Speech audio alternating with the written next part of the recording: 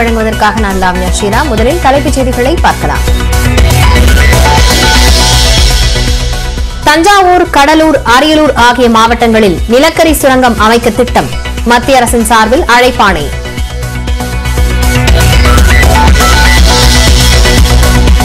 வேளாண் மண்டலங்களில் நிலக்கரி சுரங்கம் அமைக்கும் மத்திய அரசின் முடிவுக்கு பல்வேறு அரசியல் தலைவர்கள் கண்டனம். விளைநிலங்களை பாழ்படுத்தி நிலக்கரி திட்டத்தை செயல்படுத்த விடமாட்டோம் என விவசாயிகள் அறிவிப்பு.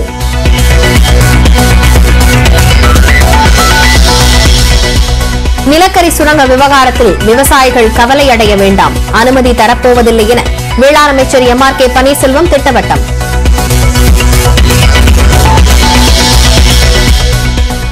டெல்டா மாவட்டங்களில் நிலக்கரி சுரங்கங்களை அமைக்க மாநில அரசின் ஒப்புதலை பெறவில்லை என ஸ்டாலின் குற்றச்சாட்டு.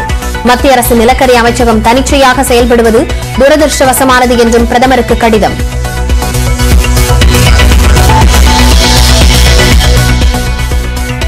பாலியல் புகார் பற்றி விசாரணை ஓய்வு பெற்ற நீதிபதி கண்ணன் தலைமையில் குழு அமைத்தது கலாட்சேத்ரா முன்னாள் டிஜிபி லத்திகா சரண் உள்ளிட்ட மூவர் குழுவில் இடம்பெற்றனர்.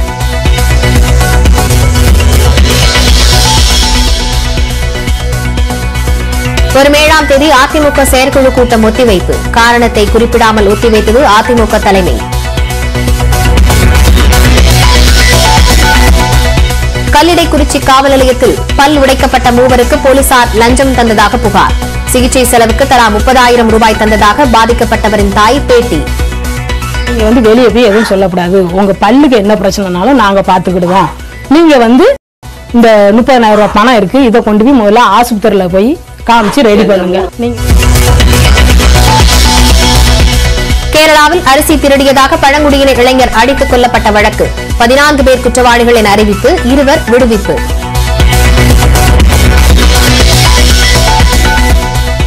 திருநெல்வேலி மாவட்டம் பணகுடி அருகே பட்டியலினத்தைச் சேர்ந்த முதியவர் உடலை அடக்கம் செய்வதற்கு எதிர்ப்பு. காவல்துறையுடன் தள்ளுமுள்ளு ஏற்பட்ட நிலையில் கடும் போராட்டத்திற்கு பின் உடல் அடக்கம்.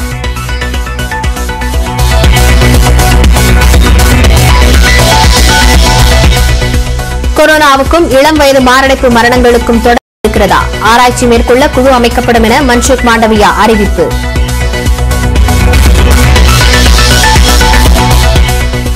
ஆறு முதல் ஒன்பதாம் வகுப்பு வரையிலான மாணவர்களுக்கு முன்கூட்டியே தேர்வு. வரும் இருபத்தி நான்காம் தேதிக்கு பதிலாக பதினோராம் தேதியை தொடங்கும் என தகவல்.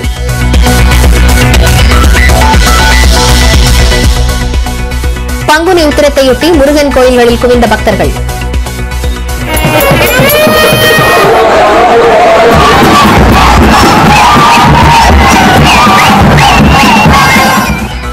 பால் காவடி பன்னீர் காவடி புஷ்ப காவடி எடுத்து பக்தர்கள் நேர்த்திக்கடன்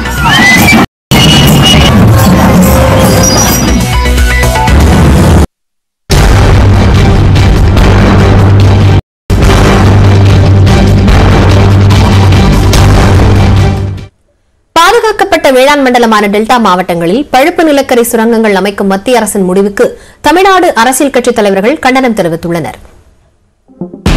முதலமைச்சர் அவர்கள் நடக்கின்ற சட்டமன்ற கூட்டத்தொடரில் பகிரங்கமா அறிவிப்பு ஒன்று வரணும். விவசாயிகளுடைய வாழ்வாதாரம் பாதிக்கப்படக்கூடாது என்பதில் பாரதிய ஜனதா கட்சி உறுதியாக இருக்கிறது.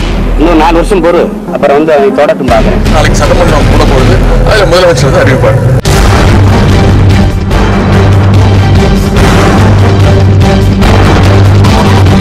நியூஸ் எயிட்டின் தொலைக்காட்சிக்கு பிரத்யேக பேட்டியளித்த பாமக தலைவர் அன்புமணி ராமதாஸ் நிலக்கரி எடுக்க பரிந்துரைக்கப்பட்டுள்ள ஆறு திட்டங்களில் ஐந்து திட்டங்கள் பாதுகாக்கப்பட்ட வேளாண் மண்டலத்தில் வருவதாக கூறியுள்ளார்.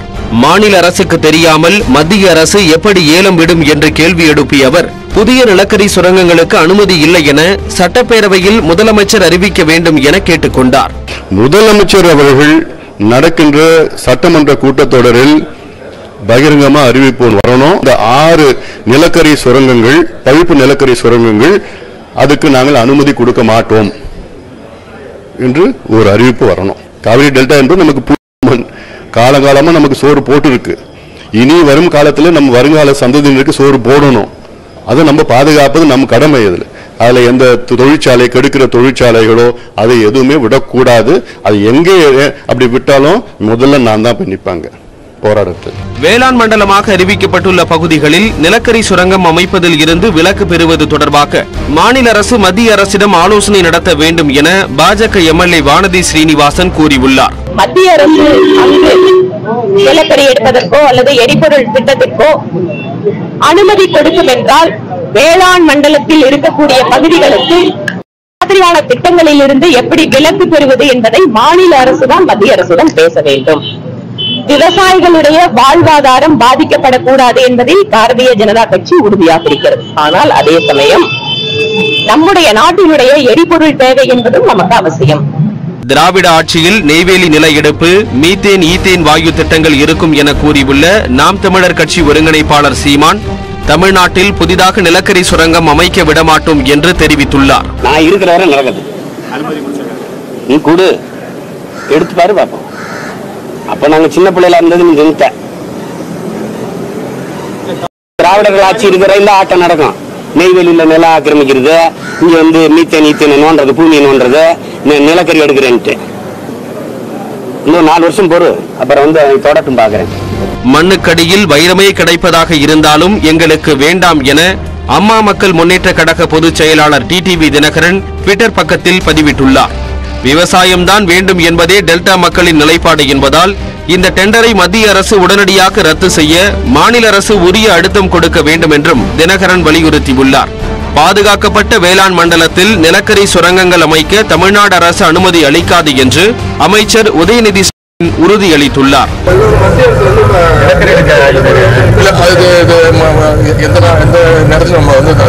அனுமதிக்க மாட்டோம். நாளைக்கு சட்டமன்றம் கூட போகுது. அதில் முதலமைச்சர் அறிவிப்பார்.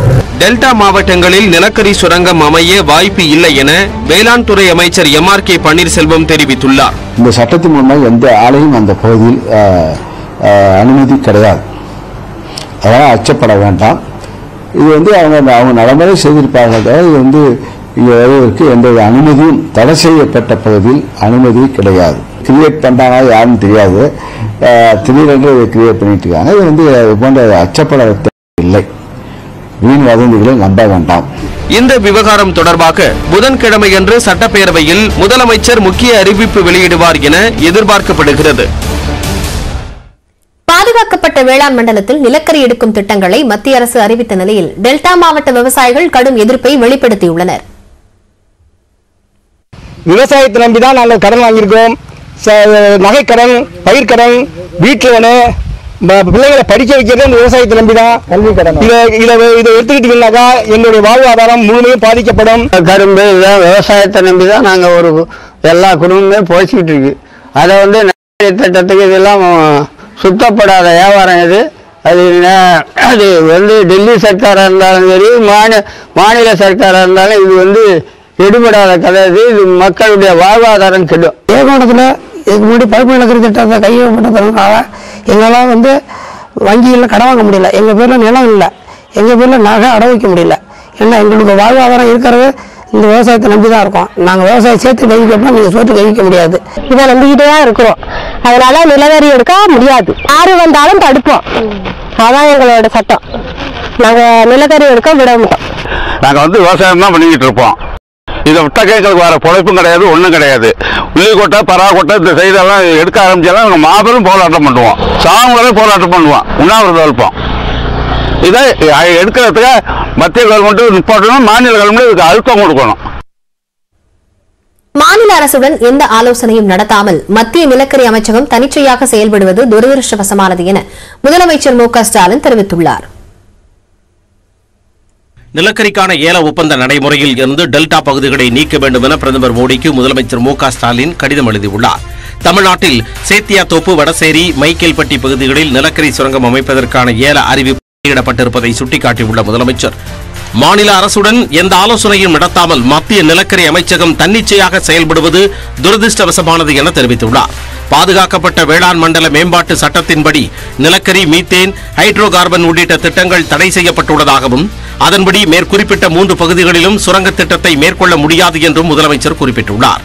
டெல்டா விவசாயிகளின் நலன் காக்க நிலக்கரி ஏல ஒப்பந்தத்தில் இருந்து மூன்று பகுதிகளையும் விலக்கிட வேண்டும் என வலியுறுத்தியுள்ள முதலமைச்சர் மு க ஸ்டாலின் இந்த அறிவிப்பால் தற்போது ஏற்பட்டுள்ள தேவையற்ற போராட்டங்களையும் குழப்பங்களையும் தவிர்க்க நடவடிக்கை எடுக்க வேண்டும் என்றும் தனது கடிதத்தில் தெரிவித்துள்ளார். வேளாண் மண்டலத்தில் வரும் பகுதிகளும் அங்கு என்னென்ன தடை செய்யப்பட்டிருக்கின்றன என்பதையும் இந்த தொகுப்பில் பார்க்கலாம்.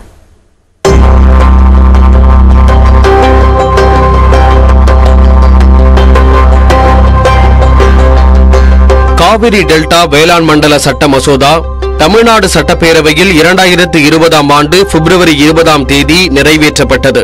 அந்த மசோதாவின்படி தஞ்சாவூர் திருவாரூர் நாகப்பட்டினம் மாவட்டங்களும் கடலூர் புதுக்கோட்டை மாவட்டங்களில் இருந்து தலா ஐந்து வட்டாரங்களும் வேளாண் பாதுகாப்பு மண்டலத்தின் கீழ் வருகின்றன. அதாவது புதுக்கோட்டை மாவட்டத்தில் இருந்து அறந்தாங்கி ஆவுடையார் கோவில் மணமேல்குடி திருவரங்குளம் குடி வட்டாரங்களும் கடலூர் மாவட்டத்தில் இருந்து காட்டுமன்னார் கோவில் மேல் புவனகிரி கீரப்பாளையம் பரங்கிப்பேட்டை குமராட்சி வட்டாரங்களும் இந்த பாதுகாக்கப்பட்ட பகுதிக்குள் வருகின்றன. இந்த மண்டலத்தில் அரசு புதிய பகுதிகளை சேர்க்கவோ ஏற்கனவே உள்ள பகுதிகளை நீக்கவோ முடியும். பாதுகாக்கப்பட்ட மண்டலத்தில் ஹைட்ரோ கார்பன் மீத்தேன் உள்ளிட்ட இயற்கை எரிவாயுகளுக்கான ஆய்வு துரப்பணம் பிரித்தெடுத்தல் ஆகியவற்றுக்கு தடை விதிக்கப்படுகிறது. துத்தநாக உருக்காலை இரும்பு தாது ஆலை கப்பல் உடைக்கும் தொழிற்சாலை ஆகியவற்றிற்கும் தடை விதிக்கப்படுகிறது. ஒருங்கிணைந்த எஃகு ஆலை இலகு இரும்பு உருக்காலை தாமிர உருக்காலை அலுமினிய உருக்காலைகளுக்கும் அனுமதி கிடையாது. விலங்குகள் உடல் பாகங்களை பதப்படுத்துதல் தோல் பதனிடும் தொழிற்சாலைகள் ஆகியவையும் இப்பகுதிகளில் தொடங்க அனுமதி கிடையாது. இந்த சட்டத்தின் கீழ் பாதுகாக்கப்படும் பகுதிகளில் மேலே சொன்ன தொழில்களை துவங்கி நடத்தினால் அதிகபட்சமாக ஐந்து ஆண்டுகளும் குறைந்தபட்சமாக ஆறு மாதங்களும் சிறை தண்டனையும் ஐம்பது லட்சம் ரூபாய் வரை அபராதமும் விதிக்கப்படும். துறைமுகம் குழாய் இணைப்பு சாலை தொலைத்தொடர்பு மின்சாரம் நீர் விநியோகம் போன்ற உட்கட்டமைப்பு பணிகள் இதன் கீழ் தடை செய்யப்பட மாட்டாது. சென்னை ஷெனா நகரில் புனரமைக்கப்பட்ட திருவிக பூங்காவை முதலமைச்சர் மு ஸ்டாலின் திறந்து வைத்து பார்வையிட்டு வருகிறார். நேரடி காட்சிகளை பார்க்கலாம். இது தொடர்பான செய்தியாளர் பாண்டியராஜ் இணைகிறார். பாண்டியராஜ் இந்த பூங்காவினுடைய சிறப்பு அம்சங்கள் என்ன? விவரங்கள். மெட்ரோ பணிகள் காரணமாக கடந்த பனிரெண்டு ஆண்டுகளுக்கு முன்பாக மூடப்பட்டிருந்த சென்னை சனாநகர் திருவிக்கா பூங்காவானது புதுப்பொலிவுடன் இன்று முதல் திறக்கப்பட்டு பொதுமக்களினுடைய பயன்பாட்டிற்கு கொண்டு வரப்பட்டிருக்கிறது.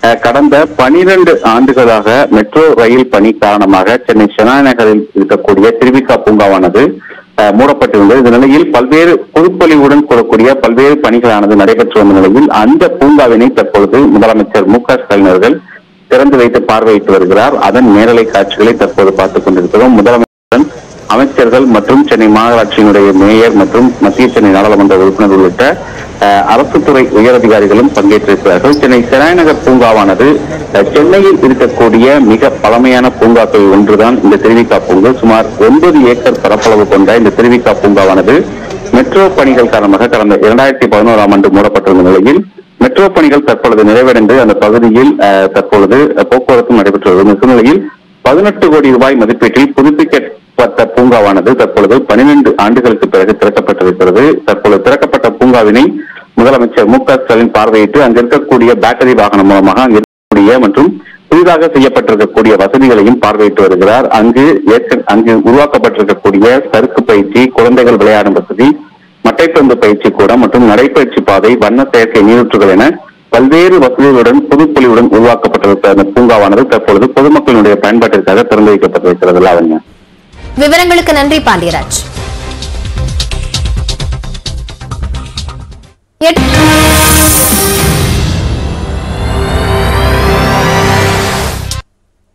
உதவி பேராசிரியர் உள்ளிட்டோர் மீதான பாலியல் குற்றச்சாட்டு குறித்து விசாரிக்க ஓய்வு பெற்ற நீதிபதி கண்ணன் தலைமையில் விசாரணை குழு அமைக்கப்பட்டிருப்பதாக கலாட்சேத்திர அறக்கட்டளை தெரிவித்துள்ளது.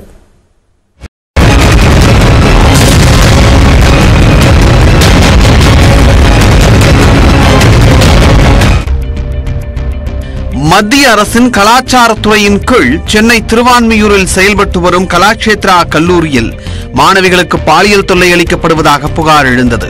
இதையடுத்து மாநில மகளிர் ஆணையம் சார்பில் நேரடியாக விசாரணை நடத்தப்பட்டது. இந்த புகாரின் பேரில் கலாட்சேத்ரா உதவி பேராசிரியர் ஹரி பத்மனை போலீசார் கைது செய்துள்ளனர். இந்த நிலையில் பாலியல் குற்றச்சாட்டுகள் குறித்து விசாரிக்க ஓய்வு பெற்ற நீதிபதி கண்ணன் முன்னாள் டிஜிபி லத்திகா சரண் மருத்துவர் ஷோபா வர்தமான் ஆகிய அடங்கிய விசாரணை குழுவை அமைக்க கல்லூரி நிர்வாகம் முடிவு செய்துள்ளதாக கூறப்பட்டுள்ளது. விசாரணை குழுவிற்கு தலைமை ஏற்க உள்ள நீதிபதி கண்ணன் பஞ்சாப் ஹரியானா உயர்நீதிமன்றத்தில் நீதிபதியாக இருந்து ஓய்வு பெற்றவர். அவர் ரயில்வே உரிமை கோரல் தீர்ப்பாயம் முதன்மை பெஞ்ச் தலைவராக பணியாற்றியுள்ளார் பல புத்தகங்களையும் எழுதியுள்ளார் பயிற்சி பெற்ற மத்தியஸ்தரான நீதிபதி கண்ணன் சமூக சட்ட பிரச்சனைகள் குறித்து முன்னணி செய்தித்தாள்களில் தொடர்ந்து எழுதி வருபவர். தனது சொத்து மதிப்பை வெளிப்படையாக அறிவித்த முதல் நீதிபதி கண்ணன் ஆவார். அவரது இந்த நடவடிக்கை முழு நீதித்துறையும் பின்பற்றுவதற்கு ஒரு புதிய முன்னுதாரணத்தை கொண்டு வந்தது. இந்தியா டுடே வார இதழ் இரண்டாயிரத்தி ஒன்பதில் இருபது ஹீரோக்களில் நீதிபதி கண்ணனையும் பட்டியலிட்டது. குழுவில் இடம்பெற்றுள்ள மற்றொரு உறுப்பினர் லத்திகா சரண் தமிழ்நாட்டின் முதல் பெண் டிஜிபி ஆவார். ஏடிஜிபி தமிழ்நாடு போலீஸ் அகாடமியின் பயிற்சி மற்றும் திட்ட இயக்குனர் லஞ்ச ஒழிப்புத்துறை இன்ஸ்பெக்டர் ஜெனரல் போன்ற பதவிகளை வகித்துள்ளார். இரண்டாயிரத்தி ஆறில் சென்னை மாநகர ஆணையராக நியமிக்கப்பட்டார். இரண்டாயிரத்தி பத்தில் தமிழ்நாட்டின் சட்டம் ஒழுங்கு டிஜிபியாக பொறுப்பேற்றார். இதன் மூலம் அவர் இந்தியாவின் இரண்டாவது பெண் டிஜிபி மற்றும் தமிழ்நாட்டின் முதல் பெண் டிஜிபி என்ற பெருமையை பெற்றார். இரண்டாயிரத்தி பத்தொன்பதில் புல்வாமா தாக்குதலுக்கு பின்னர் மிக்ரக போர் விமானத்தை இயக்கி பாகிஸ்தானின் எஃப் சிக்ஸ்டீன் போர் விமானத்தை விரட்டியடித்த அபிநந்தனின் தாய் ஷோபா வர்தமானும் விசாரணை குழுவில் இடம்பெற்றுள்ளார். மயக்கவியல் மருத்துவரான ஷோபா வர்தமான் உள்நாட்டு போரினால் பாதிக்கப்பட்ட Liberia Iraq Ivory Coast Papua New Guinea உள்ளிட்ட நாடுகளில் பணிபுரிந்துள்ளார். இதனிடையே குற்றச்சாட்டுக்குள்ளான உதவி பேராசிரியர் ஹரி பத்மன் பணியிடை நீக்கம் செய்யப்பட்டுள்ளதாகவும் இசைக்கலைஞர்கள் சஞ்சித் லால் சாய் கிருஷ்ணன் ஸ்ரீநாத் ஆகியோர் உடனடியாக பணியில் இருந்து விடுவிக்கப்பட்டுள்ளதாகவும் கலாக்ஷேத்ரா நிர்வாகம் கூறியுள்ளது. நிர்வாகம் எடுத்துள்ள நடவடிக்கைகளை கருத்தில் கொண்டு தேர்வுகளை எழுத வருமாறு மாணவர்களுக்கு அழைப்பு விடுக்கப்பட்டுள்ளது. பாதுகாப்பான சூழலை உருவாக்குவதில் உறுதியுடன் இருப்பதாகவும் கலாக்ஷேத்ரா அறக்கட்டளை நிர்வாகம் தெரிவித்துள்ளது. இந்த நிலையில் கலாக்ஷேத்ரா கல்லூரியில் உள்ள விசாரணை குழு உறுப்பினரான வழக்கறிஞர் அஜிதா தனது பதவியை ராஜினாமா செய்துள்ளார். வயதிலேயே ஏராளமானோர் மாரடைப்புக்கு ஆளாகும் நிலையில் கொரோனாவுக்கும் இளம் வயது மாரடைப்பு மரணங்களுக்கும் தொடர்பு இருக்கிறதா என ஆராய்ச்சி மேற்கொள்ளப்படும் என மத்திய சுகாதாரத்துறை அமைச்சர் மன்சுக் மாண்டவியா தெரிவித்துள்ளார். முன்பெல்லாம் வயதானவர்கள் மட்டுமே மாரடைப்பால் பாதிக்கப்பட்டனர். இன்றைய காலகட்டத்தில் பதின் பருவத்தினர் மற்றும் இளைஞர்களே மாரடைப்பால் இறப்பதை பார்க்கிறோம். கடந்த பிப்ரவரி மாதம் திருச்சி மாவட்டம் குளித்தலை அருகே கபடி போட்டியில் பங்கேற்ற இளைஞர் மூன்றாம் சுற்று போட்டிக்காக ஓய்வு எடுத்த நிலையில் திடீரென மாரடைப்பு ஏற்பட்டு உயிரிழந்தார்.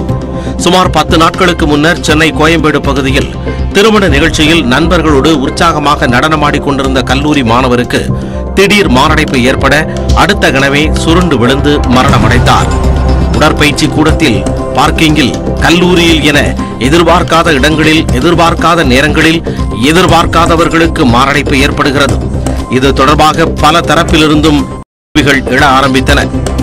இந்த சூழலில் கொரோனாவால் பாதிக்கப்படும் இளைஞர்களுக்கு அதிகம் மாரடைப்பு ஏற்படுவதாகவும் இதற்கான தொடர்பை கண்டறிய ஆராய்ச்சி குழு நியமிக்கப்பட்டுள்ளதாக மத்திய சுகாதாரத்துறை அமைச்சர் மன்சுக் மாண்டவியா தெரிவித்துள்ளார். தனியார் ஊடகத்திற்கு பேட்டி அளித்த அவர் இந்தியாவில் இதுவரை இருநூற்று பதினான்கு வெவ்வேறு வகை கொரோனா தொற்றுகள் கண்டறியப்பட்டுள்ளதாக கூறினார். அப்போது கொரோனாவுக்கு பிறகு இளைஞர்கள் அதிகம் மாரடைப்பால் பாதிக்கப்படுவது குறித்து கண்காணிக்கப்படுவதாகவும் கொரோனா தொற்றால் பாதிக்கப்பட்ட இளைஞர்களுக்கும் சமீபத்திய மாரடைப்புகளுக்கும் இடையிலான தொடர்பை கண்டறிய ஆராய்ச்சி குழுவை மத்திய அரசு நியமித்துள்ளதாக தெரிவித்தார். இதன் முடிவுகள் இரண்டு அல்லது மூன்று மாதங்களில் வெளிவரும் என்று எதிர்பார்ப்பதாகவும் அமைச்சர் கூறினார்.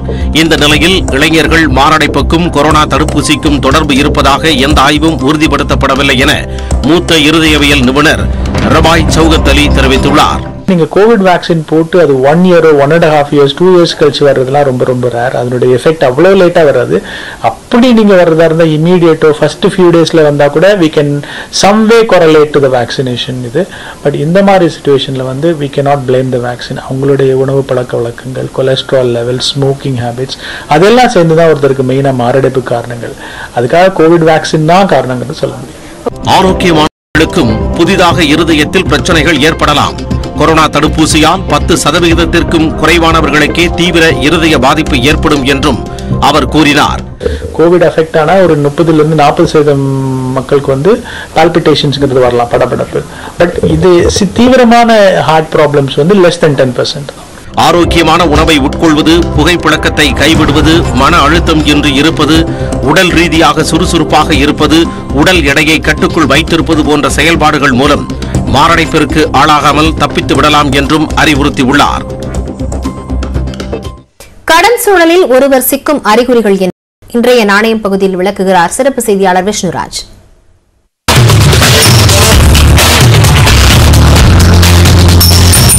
மாச கடைசியில செலவுக்கு பணம் இல்லைன்னு நீங்க ஃப்ரெண்ட்ஸ் கிட்ட கடன் வாங்குறீங்களா? இது பொதுவா எல்லாரும் செய்யக்கூடிய ஒண்ணு தானே அப்படின்னு நீங்க கேட்கலாம். ஆனா நீங்க கடன் வலையில சிக்கிறதுக்கு முதல் இண்டிகேஷன் ஃபர்ஸ்ட் அறிகுறி இதுதான். இந்த மாசம் தவணை பணம் செலுத்துறதுக்கு பணம் இல்ல இல்ல கிரெடிட் கார்டு பில்ல கட்டுறதுக்கு பணம் இல்ல அப்படின்னு ஃப்ரெண்ட்ஸ் கிட்ட கடனை வாங்கி நீங்க கிரெடிட் கார்டு பில்லோ இல்ல மந்த்லி இஎம்ஐயோ நீங்க பே பண்ணிட்டு இருக்கீங்கன்னா கண்டிப்பா ஒரு நாள் கடன்ல சிக்கிறது உறுதி. கவனமா இருங்க.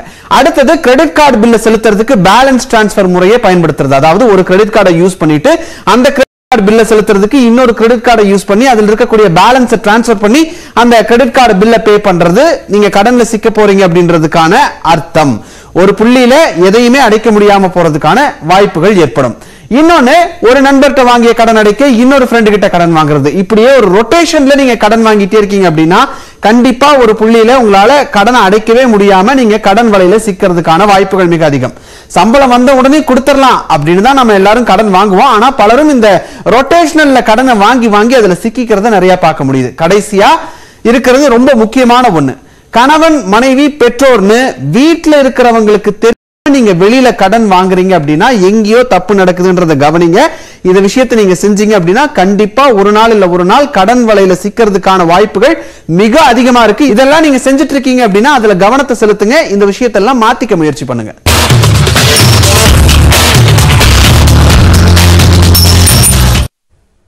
செய்திகளை தொடர்ந்து பார்க்கலாம். இடைவேளைக்கு பிறகு. அரிசி திருடியதாக அட்டப்பாடி பழங்குடியின இளைஞர் மது அடித்து கொலை செய்யப்பட்ட சம்பவத்தில் பதினான்கு பேர் குற்றவாளிகள் என தீர்ப்பளிக்கப்பட்டுள்ளது. அவர்களுக்கான தண்டனை விவரத்தை மன்னார்காடு நீதிமன்றம் புதன்கிழமை அறிவிக்கிறது.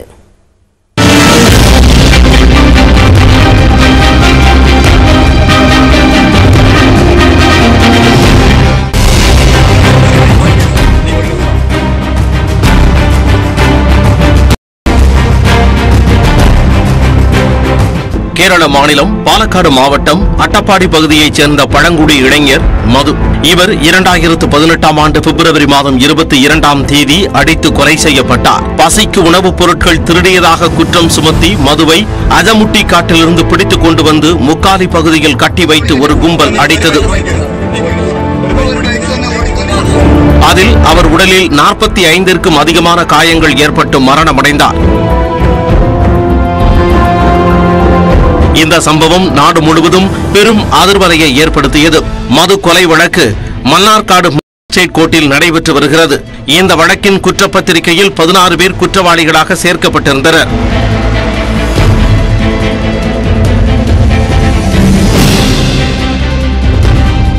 இந்த நிலையில் மது கொலை வழக்கில் செவ்வாய்க்கிழமை தீர்ப்பு அறிவிக்கப்பட்டது. நான்காம் குற்றவாளியாக சேர்க்கப்பட்ட அனீஷ் பதினொன்றாம் குற்றவாளியாக சேர்க்கப்பட்ட அப்துல் கரீம் ஆகியோர். குற்றமற்றவர்கள் என விடுவிக்கப்பட்டனர். முதல் குற்றவாளியான உசைன் உள்ளிட்ட பதினான்கு பேரும் குற்றவாளிகள் என நீதிமன்றம் அறிவித்தது. அவர்களுக்கான தண்டனை புதன்கிழமை அறிவிக்கப்படுகிறது. ஆனால் மது கொலை வழக்கில் நீதி கிடைக்கவில்லை என மதுவின் தாய் மல்லி மற்றும் அவரது சகோதரி தெரிவித்துள்ளனர். குற்றவாளிகளுக்கு அதிகபட்ச தண்டனை வழங்க வேண்டும் என மதுவின் குடும்பத்தினர் கோரிக்கை விடுத்திருக்கின்றனர். குற்றவாளிகளாக அறிவிக்கப்பட்ட பதினான்கு பேரும் மாவட்ட சிறைக்கு மாற்றப்பட்டிருக்கின்றனர். நெல்லை மாவட்டத்தில் போலீசாரால் விசாரணை கைதிகளின் பல் பிடுங்கப்பட்ட விவகாரத்தில் உண்மையை மறைக்க போலீசார் லஞ்சம் கொடுத்ததாக பாதிக்கப்பட்டவர்கள் திடுக்கிடும் தகவலை தெரிவித்துள்ளனர். உண்மையை மறைக்க லஞ்சம் வழங்கப்பட்டதாக கூறப்படுவதன் பின்னணி என்ன? இந்த தொகுப்பில் பார்க்கலாம். இப்போ வெளியே வந்ததும் என்ன ஆச்சுன்னு கேட்பாங்க நீ என்ன சொல்லணும் தெரியுமா? வழிக்கு உந்துட்டன்னு சொல்லணும். அதான் எங்க சம்பிரதாயம் சட்டம். தெரிதா? தெரிதாடா? தெரிஞ்சிச்சுன்னு சொல்லுடா. என்ன ஆச்சு என்னடா ஆச்சு கேக்குறேன் இல்ல ஏன்டா முழிக்கிற? வழிக்கு விழுந்துட்டேன். என்னது? வழிக்கு விழுந்துட்டேன். சரி சரி போ. மகாநதி திரைப்படத்தில் வழிக்கு விழுந்து கையை உடைத்துக் கொண்டதாக நடிகர் கமல் காவலரிடம் பொய் சொல்லும் காட்சிகளை யாரும் மறக்க முடியாது. அதுபோல் விசாரணை கைதிகளிடம் பல் பிடுங்கப்பட்ட விவகாரத்தில் கீழே விழுந்துதான் பற்களை உடைத்துக் கொண்டதாக பொய் சொல்லுமாறு போலீசார் லஞ்சம் கொடுத்ததாக பாதிக்கப்பட்டவர்கள் திடுக்கிடும் தகவலை கூறியுள்ளனர்.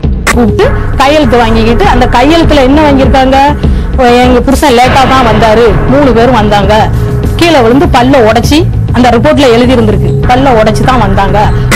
இவனுக்கு முப்பது அவனுக்கு முப்பதுனா தொண்ணூ- தொண்ணூறாயிரம்.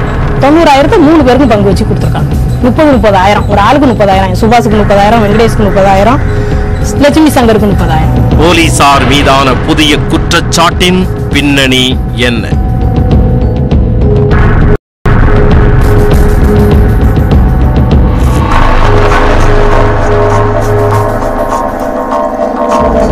நாகை மாவட்டம் அம்பாசமுத்திரம் காவல் சரகத்திற்குட்பட்ட பகுதிகளில் விசாரணை கைதிகள் பல் உடைக்கப்பட்டு கொடூரமாக தாக்கப்பட்ட விவகாரம் பெரும் சர்ச்சையை ஏற்படுத்தியது.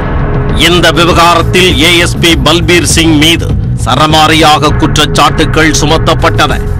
இது தொடர்பாக அவரிடம் மனித உரிமை ஆணையம் விசாரணை நடத்தி வருகிறது. இந்நிலையில் பல் பிடுங்கப்பட்டு பாதிக்கப்பட்டவர்களின் பெற்றோர் மற்றும் உறவினர்கள் திடுக்கிடும் தகவல் ஒன்றை வெளிப்படுத்தி உள்ளனர். அதில் பல் பிடுங்கப்பட்ட விவகாரத்தை பெரிதாக்காமல் இருக்க கீழே விழுந்துதான் நாங்கள் பல்லை உடைத்துக் கொண்டோம் என யார் கேட்டாலும் கூற வேண்டும் என கூறி தலா முப்பதாயிரம் ரூபாய் வீதம் மூன்று பேருக்கு தொண்ணூறாயிரம் ரூபாய் லஞ்சம் வழங்கப்பட்டதாக பாதிக்கப்பட்டவரின் தாய் கூறியுள்ளார். நீங்க வந்து வெளியே போய் எதுவும் சொல்லக்கூடாது. உங்க பல்லுக்கு என்ன பிரச்சனைனாலும் நாங்க பாத்துக்கிடுவோம். நீங்க வந்து இந்த முப்பதாயிரம் ரூபாய் பணம் இருக்கு இதை கொண்டு போய் முதல்ல ஆஸ்பத்திரியில போய் காமிச்சு ரெடி பண்ணுங்க. முப்பதாயிரம் முப்பதாயிரம். லட்சுமி சங்கர் வெங்கடேஷ் சுபாஷ்.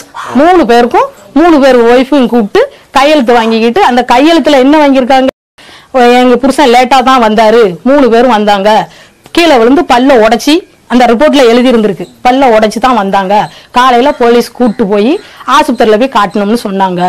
அப்படி இவனுக்கு முப்பது அவனுக்கு முப்பதுனா தொண்ணூ- தொண்ணூறாயிரம். தொண்ணூறாயிரத்தை மூணு பேருக்கும் பங்கு வச்சு கொடுத்துருக்காங்க. முப்பது முப்பதாயிரம். ஒரு ஆளுக்கு முப்பதாயிரம் சுபாஷுக்கு முப்பதாயிரம் வெங்கடேஷ்க்கு முப்பதாயிரம் லட்சுமி சங்கருக்கு முப்பதாயிரம்.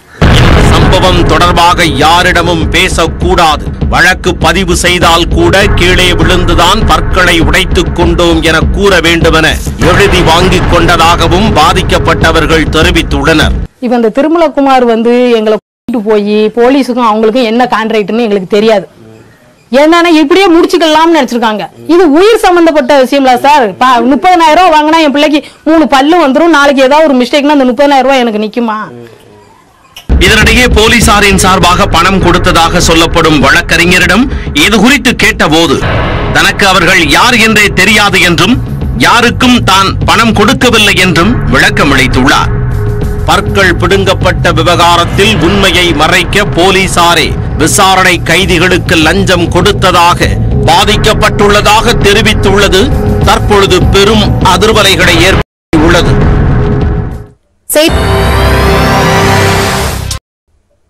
ட்விட்டர் தளத்தின் தனி அடையாளமாக இருந்த நீல நிற பறவை கொண்ட லோகோவை எலான் மஸ்க் தடாலடியாக மாற்றியுள்ளார். அதற்கு மாற்றாக நாய் படத்தை லோகோவாக வைத்து ஜார்ஜி காயின் கிரிப்டோ கரன்சியின் மதிப்பு கூட காரணமாக மாறியுள்ளார்.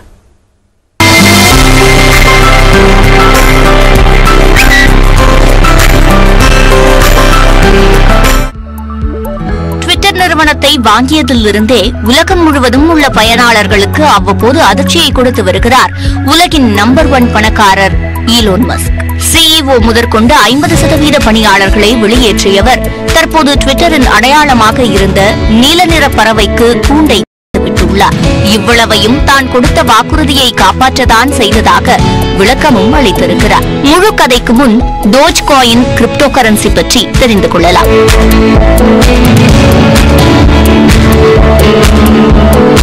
டோஜ் காயின் என்பது மக்களை சிரிக்க வைக்கும் தற்செயல் கிரிப்டோ இயக்கம். இது ஒரு ஓபன் சோர்ஸ் கிரிப்டோ கரன்சி ஆகும். ஜப்பானின் ஷிபா இனு இன நாய் தான் டோஜ் காயினின் லோகோ. இந்த நாயின் முக பாவனைகளை கொண்டு நகைச்சுவை மிம்ஸ்கள் வலம் வருகின்றன.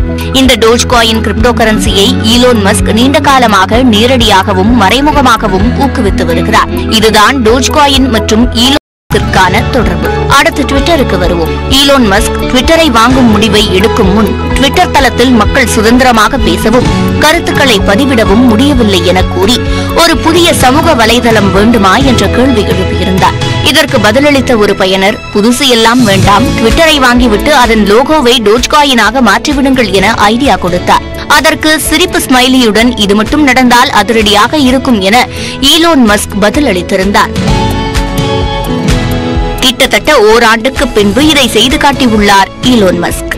இது மட்டுமல்லாமல் அந்த பழைய ட்வீட்டை தேடி பிடித்து கொடுத்த வாக்குறுதியை காப்பாற்றிவிட்டதாக தெரிவித்துள்ளார். இந்த லோகோ மாற்றம் ட்விட்டர் இணைய பக்கத்தில் மட்டுமே மாற்றப்பட்டுள்ளது. ஆண்ட்ராய்டு ஐஓஎஸ் செயலியில் மாற்றப்படவில்லை. இதனால் இது தற்காலிகமான மாற்றமாகத்தான் இருக்கும் என கூறப்படுகிறது. ட்விட்டர் லோகோவாக ஷிபா இனு நாய் படம் மாற்றப்பட்டதால் டோஜ் காயின் கிரிப்டோ கரன்சியின் மதிப்பு இருபத்தி நான்கு மணி நேரத்தில் அதிகப்படியாக முப்பது சதவீதம் வரையில் உயர்ந்தது. இது டோஜ் காயின் முதலீட்டாளர்களுக்கு ஜாக்பாட்டாக மாறியது. ஆனாலும் மஸ்கின் விளையாட்டை விரும்பாத பலரும் டோஜ் காயினை விற்பனை செய்துவிட்டு வெளியேறினர் என்பதும் குறிப்பிடத்தக்கது. மேலும் இந்த மாற்றம் நெட்டிசன்கள் கலாய்த்து விளையாடும் வாய்ப்பாகவும் அமைந்துள்ளது. வார்த்தை மாற மாட்டான்டா. சொன்னா சொன்னதுதான். திரையில் விஜயகாந்த் காட்டிய இந்த வீரத்தை அவருக்கு அடுத்தபடியாக நிஜ வாழ்க்கையில் காட்டிக் கொண்டிருக்கிறார். உலகின் டாப் கோடீஸ்வரரும் டெஸ்லா ஸ்பேசெக்ஸ் மற்றும் ட்விட்டர் நிறுவனங்களின் அதிபருமான ஈலோன் மஸ்க் கோடை காலத்தின் தொடக்கத்திலேயே சென்னை தகிக்க தொடங்கி இருக்கிறது சென்னையில் ஏன் வெப்பத்தின் தாக்கம் அதிகமாக உணரப்படுகிறது? அடுத்த மூன்று மாதங்கள் எப்படி இருக்கும்? பாதுகாத்துக் கொள்ள செய்ய வேண்டியதன் அவசியம் என்ன என்பதை விவரிக்கிறது இந்த சிறப்பு தொகுப்பு.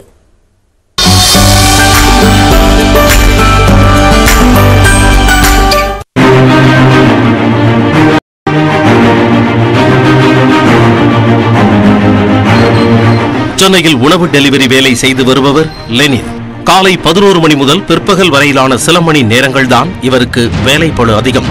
இந்த நேரத்தில் சென்னை சாலைகளில் வெப்ப அனல் பறப்பதால் பணியாற்றுவது மிகவும் கடினமாக உள்ளதாக கூறுகிறார். லெவன் ஓ கிளாக் மேலே ஸ்டார்ட் ஆகிற வெயில் வந்து ரொம்ப முடியாது. அது பன்னெண்டு மூன்றரை மணி இருக்கும். ஆக்சுவலி அந்த மூன்றரை மணி இருக்கும் தண்ணி தாக எடுத்துட்டு இருக்கோம். போயிட்டு வந்துட்டு இருந்தோம். இப்போ வர வர இப்போ இப்படி இருக்கு. இன்னும் மே மந்த்லாம் போனால் ஒன்றும் சொல்ல முடியாது இப்போதைக்கு. இருசக்கர வாகனத்தில் செல்லும் போது சாலைகளில் பறக்கும் வெப்ப அனல் உடலில் பட்டு உடல் சோர்வு தலைவலி உள்ளிட்டவை ஏற்படுவதாக கூறுகிறார் மார்க்கெட்டிங் எக்ஸிகியூட்டிவ் உதயகுமார். நம்ம நின்றுட்ட பிறகு தான் தெரியுது அது. நார்மலாக நின்றுவும் அந்த ஃபுல்லாக அந்த வேர்வை வந்து தலைவலி. அது ஒரு பத்து நிமிஷம் வண்டி ஓட்டினாலும் அப்படி அப்படி தான் இருக்குது கடந்த நூற்று நாற்பத்து ஆறு ஆண்டுகளில் இல்லாத அளவுக்கு இந்த ஆண்டு பிப்ரவரி மாதம் வெப்பம் அதிக அளவு காணப்பட்டதாக வானிலை ஆய்வு மையம் அறிவித்தது. நடப்பாண்டில் எல்னினோ ஆண்டாக இருக்கும் என பன்னாட்டு வானிலை ஆய்வு மையங்கள் தெரிவித்துள்ளன. இதனால் இயல்பை விட வெப்பம் அதிகரிக்கும் எனவும் எச்சரிக்கப்பட்டுள்ளது. கடந்த சில நாட்களாக கோடையின் தீவிரம் அதிகரித்து காணப்படும் நிலையில் சென்னை உள்ளிட்ட கடலோர மாவட்டங்களில் வெப்பத்தின் தாக்கம் மேலும் அதிகரிக்கும் என்கிறார் வானிலை ஆய்வாளர் ஸ்ரீகாந்த். பகல் பகுதியில் வந்து நிலத்தில் வரக்கூடிய நிலக்காற்று வரும் வெப்பநிலை அதிகரிச்ச உடனே கடலில் வரக்கூடிய கடல் காற்று வரும். இந்த கடல் காற்று வரும்போது அதுல வந்து ஈரப்பதம் இருக்கிறதால அந்த ஹியூமிடிட்டி இன்க்ரீஸ் ஆகும். இயல்பை விட அதிக வெப்பம் அதிகமாக உள்ள காலகட்டத்தில் உரிய தற்காப்பு முறைகளை மக்கள் மேற்கொள்ள வேண்டியது அவசியமாகிறது. சென்னையில இப்போ மதியம் ஒரு மணி அளவுல முப்பத்தி நான்கு புள்ளி ஐந்து டிகிரி செல்சியஸா இப்போ வெப்பத்தின் அளவு இருக்கு. இங்க ஹியூமிடிட்டி அறுபத்தி ஏழு சதவீதமா இருக்கக்கூடிய நிலையில ஃபீல்ஸ் லைக் டெம்பரேச்சர் அதாவது உடல் உணரக்கூடிய வெப்பத்தின் அளவு அப்படின்னு எடுத்துக்கிட்டா இப்போ நாற்பத்தி இரண்டு டிகிரி செல்சியஸா இருக்கு. சென்னையில வெப்ப அளவு குறைவா இருந்தாலும் கூட இந்த ஃபீல்ஸ் லைக் டெம்பரேச்சர் அதாவது உடல் உணரக்கூடிய வெப்பத்தின் அளவை கணக்கிட்டு அதற்கு ஏற்றபடி தங்களை பராமரிச்சுக்க வேண்டியதும் அவசியமானதா இருக்கு. வெயிலால் உடலில் நீர்ச்சத்து குறைந்து கடுமையான பாதிப்புகள் ஏற்பட வாய்ப்புள்ளதால் தண்ணீர் மற்றும் பழச்சாறுகளை அடிக்கடி பருகி உடலை குளிர்ச்சியாக வைத்துக் கொள்ள வேண்டுமென அறிவுறுத்துகின்றனர் மருத்துவர்கள். நிறைய தண்ணி குடிக்கணும். அதே மாதிரி வாட்டர் கண்டென்ட் நிறைஞ்ச ஃப்ரூட்ஸை நிறைய சாப்பிடணும். இந்த தர்பூசணி இது நிறைய வந்திருக்கு. அந்த மாதிரி தண்ணி லெமன் ஜூஸ் இதெல்லாம் அடிக்கடி அடிக்கடி குடிச்சிட்டு நல்லா ஹைட்ரேட் பண்ணி யூரின் நல்லா போற மாதிரி பார்த்துக்கிட்டாங்கனாவே யூரின் அவுட்புட் தான் நம்மளுடைய பாடி ஹைட்ரேஷனுக்கு ரொம்ப இம்பார்ட்டன்ட் இண்டிகேட்டர் யூரின் நல்லா போற மாதிரி பார்த்துட்டாவே பாடி ஹைட்ரேஷன் நல்லா இருக்குன்னு அர்த்தம். ஹைட்ரேஷன் நல்லா பண்ணிட்டீங்கன்னா heat stroke heat exhaustion heat cramps இதெல்லாம் நம்ம ப்ரிவென்ட் பண்ணிக்கலாம். வெள்ளம் புயலுக்கு அரசு தயாராவதைப் போல இனிவரும் காலகட்டங்களில் வெயிலுக்கு தயாராக வேண்டிய சூழல் உருவாகி வருவதாக கூறுகிறார். பூ உலகின் நண்பர்கள் அமைப்பைச் சேர்ந்த சுந்தர்ராஜன். சமுதாய கூடங்கள் வந்து ஐடென்டிஃபை பண்ணுங்க. கடற்கரையோர மாவட்டங்களில் அதை வந்து ஒரு ஒரு செல்ஃப் ஹெல்ப் குரூப்ட ஒரு சுய உதவிக்குள்கிட்ட கொடுங்க. அவங்க வந்து சமுதாய கூட்டம் மெயின்டைன் பண்ணிட்டோம். அங்கே சின்ன கூலிங் சிஸ்டம் ஏதாவது தண்ணி வந்துட்டு போகிற மாதிரி கூலிங் சிஸ்டம் ஏற்படுத்தி அதிகமான வெப்பம் வந்துச்சுன்னா இந்த நடைபாதையில் வசிக்கிறவங்க ரிக்ஷா ஓட்டினவங்க ரோடு போடுறவங்களுக்குலாம் வெப்பமாயிடும் ஸோ அப்போ அவங்கெல்லாம் வந்து சமுதாய கூட்டத்தில் வந்து தங்கிக்கலாம். மழை என்றால் மிதக்கும் வெயில் என்றால் தகிக்கும் என மழை பெய்தாலும் வெயில் அடித்தாலும் அதிக பாதிப்பை சந்திக்கும் பெருநகரமாக மாறியிருக்கிறது சென்னை. முன்னெச்சரிக்கையோடும் கவனத்தோடும் இந்த வெயில் காலத்தை கடக்க வேண்டியது அவசியம். நியூஸ் எயிட்டின் தமிழ்நாடு தொலைக்காட்சி செய்திகளுக்காக ஒளிப்பதிவாளர் விக்னேஷ் மற்றும் அருணுடன் செய்தியாளர் தமிழரசி.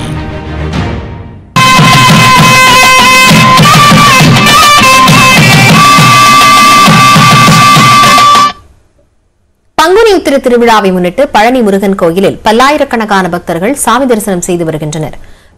பங்குனி உத்திர திருவிழா கடந்த இருபத்தி ஒன்பதாம் தேதி கொடியேற்றத்துடன் தொடங்கி நடைபெற்று வருகிறது. முக்கிய நிகழ்வாக மலையடிவார கிரி வீதியில் இன்று மாலை தேரோட்டம் நடைபெற்றது.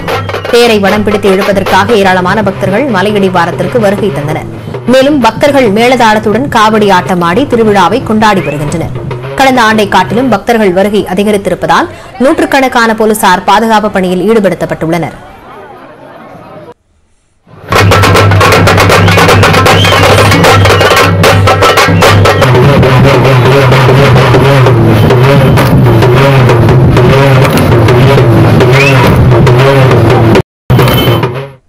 சிதம்பரம் நடராஜர் கோயிலில் உள்ள பாண்டியநாயகம் கோயிலில் பங்குனி உத்திரை தேரோட்டம் வெகு விமரிசையாக நடைபெற்றது. திரளான பக்தர்கள் பங்கேற்று வடம் பிடித்து தேரை இழுத்தனர்.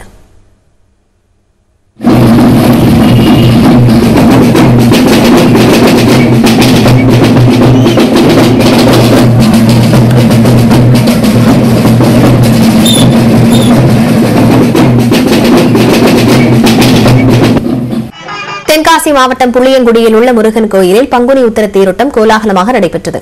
சுற்றுவட்டாரத்தைச் சென்று திரளான மக்கள் கலந்து கொண்டு தேரை வடம் பிடித்து இழுத்தனர்.